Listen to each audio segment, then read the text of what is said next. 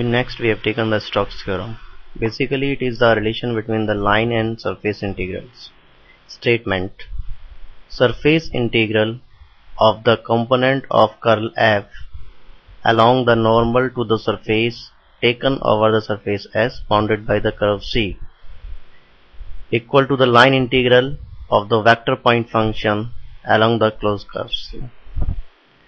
Means mathematically हम इसको क्या लिख सकते हैं line integral is f dot dr is equals to surface integral curl of f dot n cap ds जहाँ पर हम ds को ऑलरेडी पहले डिस्कस कर चुके हैं ds is given by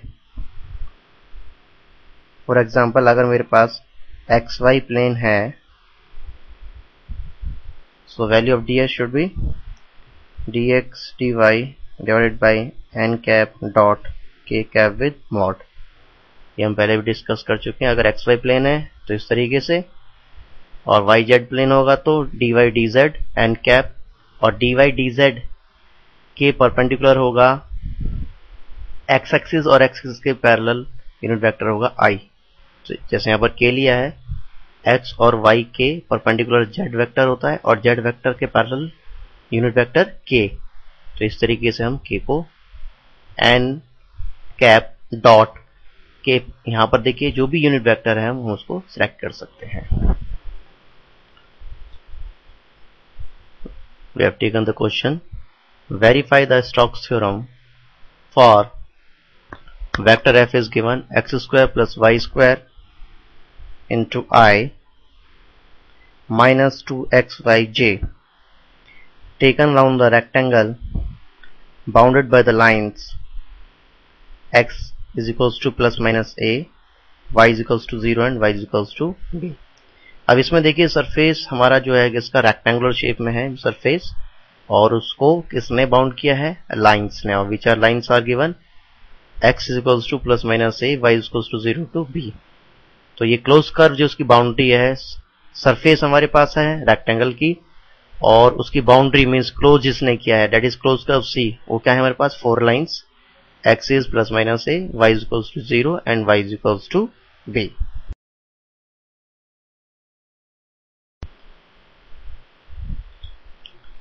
देखिए हमारे पास रेक्टेंगल जो कि फोर लाइन से बाउंडेड है, किस तरीके से?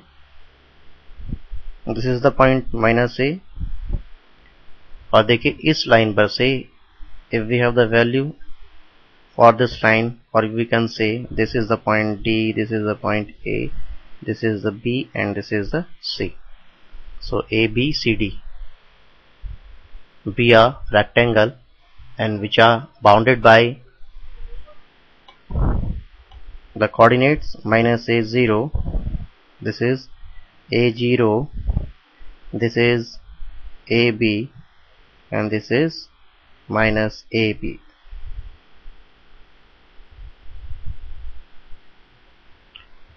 तो ये हमारे पास क्या है? अगर हम इसको वैसे देखें this is a line x equals to a minus a this is a line यानी अगर ये वाली लाइन को हम काउंट करें x equals to minus a this is a line x equals to plus a and this is a line y is equals to b, and this is the line y is equals to zero. तो ये चारों line जो हमारे पास हैं, इन्होंने क्या किया है? एक रेक्टेंगुलर शेप वाले सरफेस को बाउंड किया है। अब हमारे पास फार्मूला है स्ट्रोक्स थ्योरम के लिए। सबसे पहली बात देखिए, हमें क्वेश्चन में लिखा है वेरीफाई द स्ट्रोक्स थ्योरम अब वेरीफाई का मतलब क्या है कि थ्योरम्स के दोनों साइड हमें लेके चलने पड़ेंगे, और दोनों ही हमें सोल्व करने पड़ेंगे और दोनों की वैल्यू क्या आनी चाहिए? Same let C denote the boundary means the closed curve of the rectangle ABCD हमारे पास थ्योरम का लेफ़्ट हैंड साइड क्या होगा? जो भी हमने डिस्कस किया है। C F dot d r जो कि हमारे पास क्या है? सी एफ़ की और डी आर की वैल्यू हमारे पास है। X square plus y square i minus two x y j का डॉट प्रोडक्ट किसके साथ? डी आर के साथ। डी हमारे पास क्या होता है? D x i plus d y j plus d z k अगर हम इसको डॉट प्रोडक्ट से सोल्व करें तो हमें फाइनल में क्या मिलता है? X square plus y square d x minus two x y dy. So, this is the value of line integral along the closed curve C. Okay? अभी तो देखिए हमारे पास क्लोज कर्व सी है। सी क्या है? It is a combination of four lines means a b c d x square plus y square dx minus 2xy dy means phi the line AB x square plus y square dx minus 2xy dy plus. Line BC x square plus y square. Okay. Dx minus 2xy dy plus. Cd x square plus y square whole to d dx minus 2xy dy plus dA x square plus y square dx minus 2xy dy okay so so finally अगर हम इसको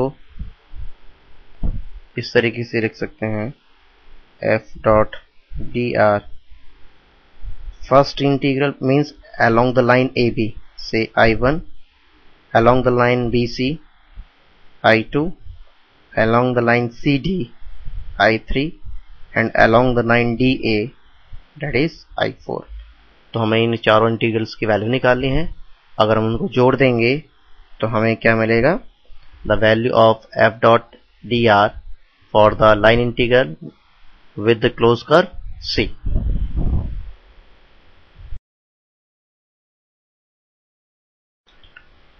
So firstly we have taken I1. I1 means line integral along the line AB. And we have the value for this part x square plus y square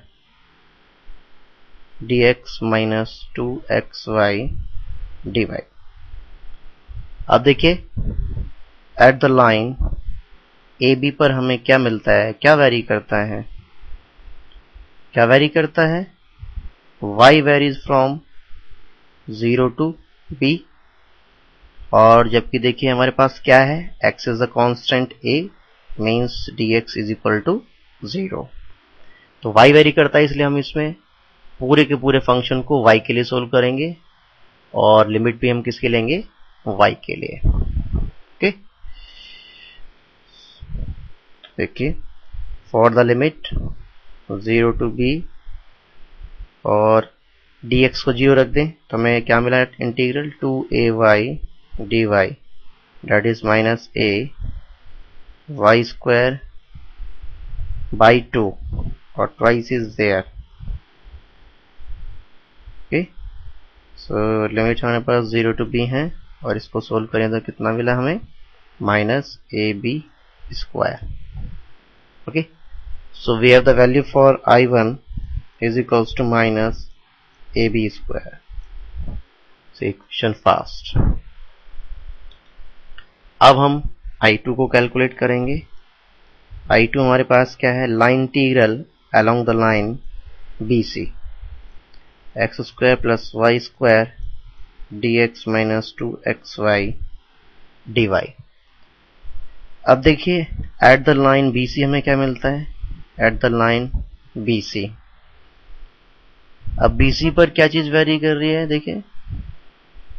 क्या very करता है? X vary करता है।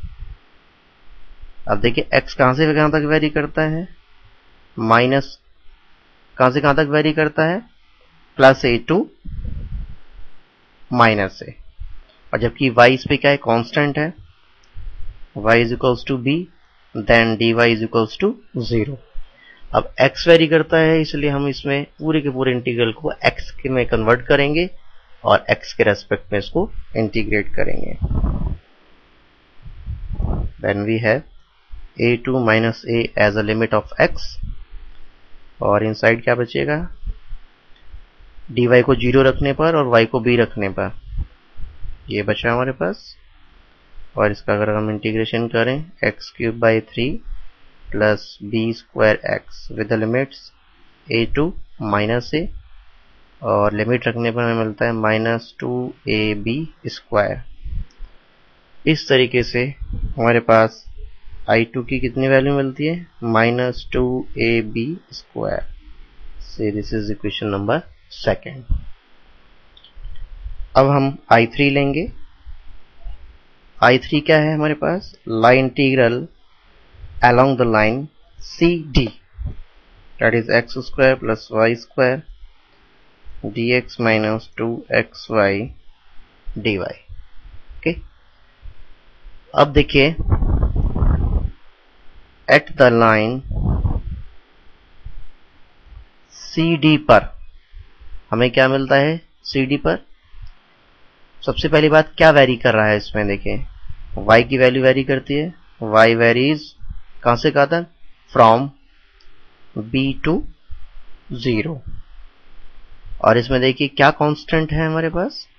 X की value constant है that is minus a which gives you dx is equals to again zero तो integral में अगर हम ये वैल्यू सब्सिट्यूट करें, यानी कि हमें इंटीग्रल किसके रेस्पेक्ट में करना पड़ेगा? सोल्व y की वैल्यू वेरी कर रही है तो y के रेस्पेक्ट में इसको सोल्व करना पड़ेगा. ओके अब हम इसको सोल्व करते हैं।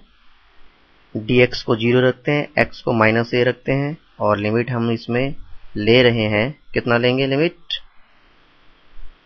for the line at b to zero और इंटीग्रल हमारे पास क्या मिलेगा? That is two a y dy okay? That is a times of y square, limit b to 0 that is minus a b square so इस तरीके से हमारे पास आई थ्री की वैल्यू कितनी मिलती है? Minus A B square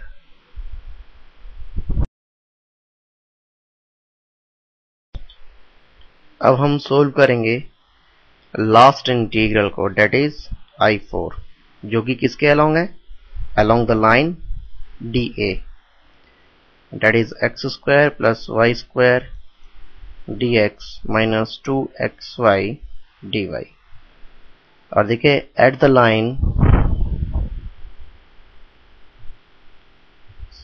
D A at the line D A D A पे देखिए हमें क्या मिला? क्या कांस्टेंट है और क्या वेरिएबल है? क्या कांस्टेंट है? डी ए लाइन पर y is equals to zero that's y d y is also equal to zero और x की वैल्यू कहाँ से कहाँ तक वेरी करती है? Minus a to plus a तो हम इस पूरे इंटीग्रल को x के रेस्पेक्ट में इंटीग्रेट करेंगे। और इसमें हम अगर वैल्यू रखें माइनस ए से प्लस ए विद लिमिट क्या क्या होगी हमारे पास?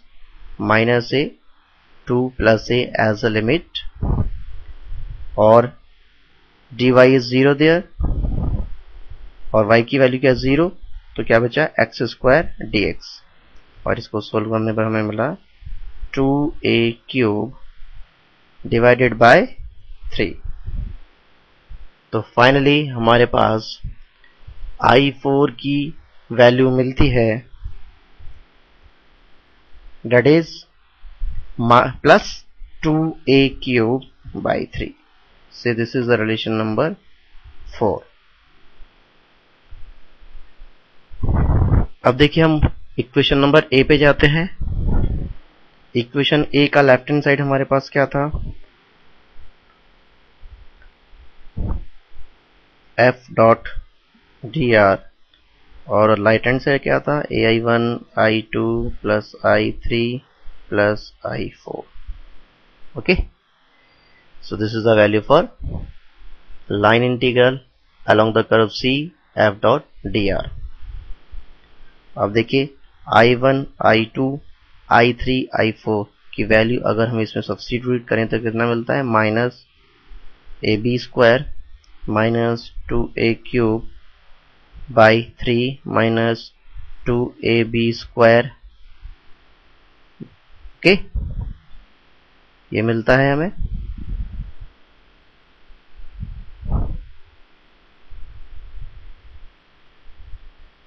और minus two a b square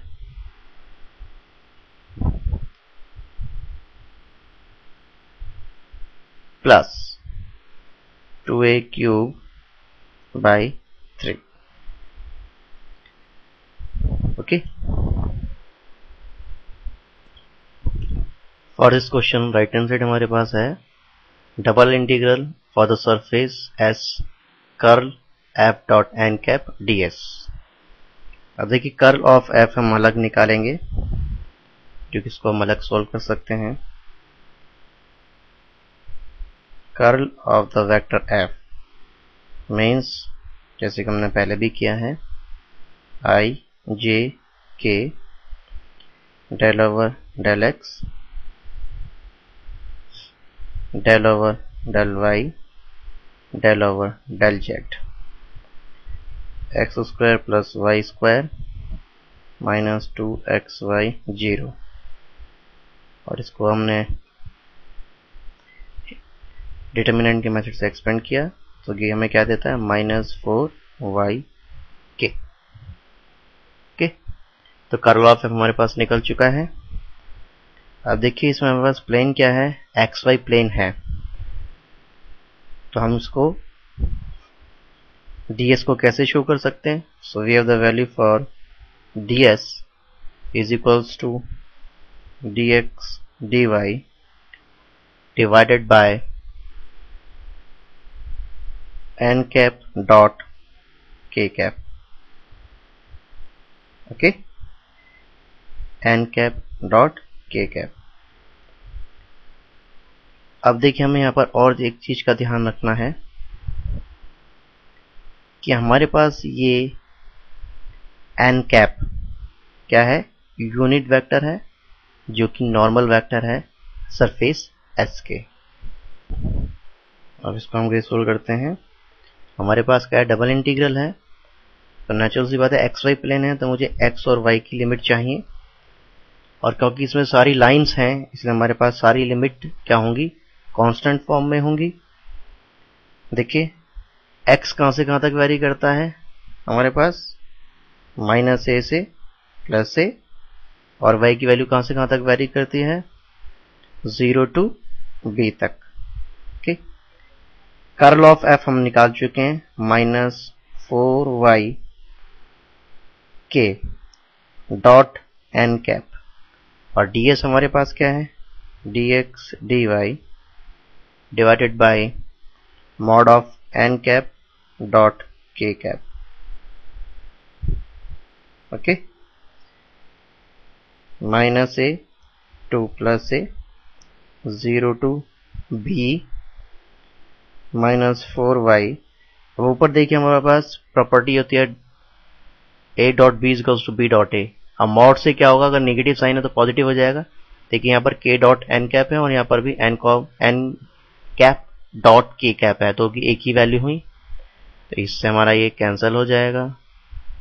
और हमारे पास क्या बचेगा? Minus four y d x d y इसको हम सोल्व करें। पहले अगर x के रेस्पेक्ट में करें या वाई के रेस्पेक्ट में करें, कोई फ़र्क नहीं पड़ेगा, क्योंकि लिमिट कांस्टेंट है। पहले हमने एक्स के रेस्पेक्ट में किया minus four y x with the limits minus a to plus a d y okay और हमें किससे, ऐसा करने पर क्या मिलता है? Minus eight a zero to b y y okay और हम इसको अगर इंटीग्रेट करें तो क्या मिलेगा?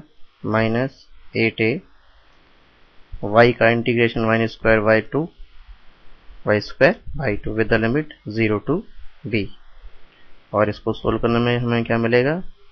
Minus four a b square तो हम देख सकते हैं कि राइट हैंड साइड वाला जो हमारे पास इंटीग्रल था, वो क्या था हमारे पास? That is double integration along the surface S curl of f dot n cap ds. इसकी वैल्यू हमारे पास कितनी मिलती है? Minus four a b square जो कि हमें क्या इंडिकेट करता है? Equal to left hand side left hand side पे भी देखिए, जो हमारे पास एफ़ डॉट डी आर था, उसकी वैल्यू क्या थी? Minus four a b square और इसकी भी वैल्यू कितनी है? Minus four a b square इसका मतलब दोनों साइड हमारी बराबर हैं। तो क्या इंडिकेशन करता है? स्टॉक थ्योरम इज़ वेरीफाइड तो इस तरीके से हम स्टॉक थ्योरम को वेरीफाई कर सकते हैं।